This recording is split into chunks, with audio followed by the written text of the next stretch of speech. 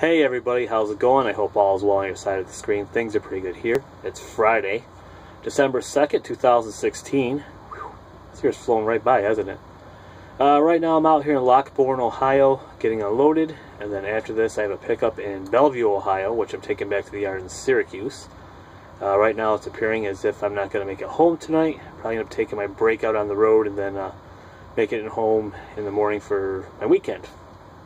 Uh, is what it is, these things happen. Uh, this week's been kind of a, I don't know, just a normal, same stuff, different day kind of week. Kind of blah, actually. And then uh, last night rolling into Ohio, I got stopped at the scale. And for the first time in 14 years, I got a uh, overweight ticket. I was uh, 1,400 pounds overweight on my tandems. Uh, of course, I, they let me fix it there.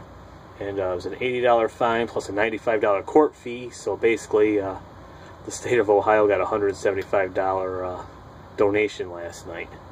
But it is what it is, and uh, I guess these, these, yeah, these things happen every now and then.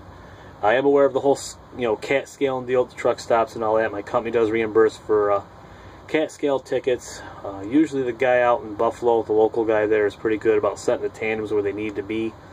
Usually not an issue, but, you know, like I said, things happen, and uh, it's the first time in 14 years. So it's nothing worth getting upset over. Pay the fine, life goes on. And then uh, this weekend, my band New Age Static is uh, making its live debut. We're playing our first show, which I'm pretty excited about. I'm actually more excited about this show than I am Christmas and the holidays. And I'm looking forward to that. And uh, just getting through the rest of this week. Just wanted to give you all a quick update.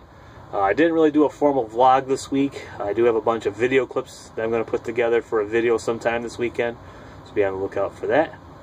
And uh, I guess that's all I have to say for this little quick update. So uh, y'all have a good weekend when you get to it. I'll talk to y'all later. Y'all have a good day, eh? I'm out of here.